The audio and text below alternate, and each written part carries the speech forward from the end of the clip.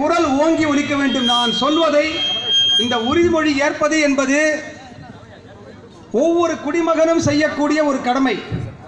இன்றைக்கு நாம் உறுதிமொழி எடுக்கிறோம். தேர்தலிலே தேர்ந்தெடுக்கப்பட்டவர்கள் தான் உறுதிமொழி எடுக்க வேண்டும் என்பது அல்ல. ஒவ்வொரு தேசத்தின் குடிமகனும் இன்றைக்கு நாம் உறுதிமொழி ஏற்கின்றோம். இந்த உறுதிமொழி உலகெங்கும் ஒலிக்க வேண்டும்.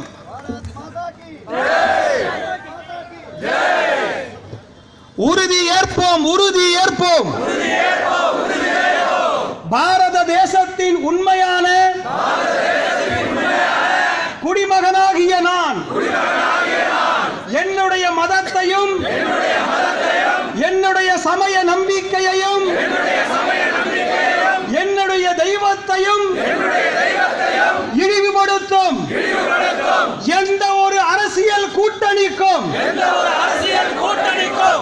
எந்த இந்த தேர்தல் மட்டுமல்ல. எந்த தேர்தலிலும் நான் வணங்கும் குல தெய்வத்தின் சாட்சியாக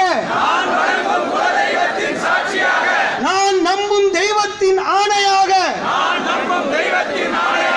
இங்கே இருக்கும் அக்னியின் சாட்சியாக நான் ஒரு பொழுதும் என்னுடைய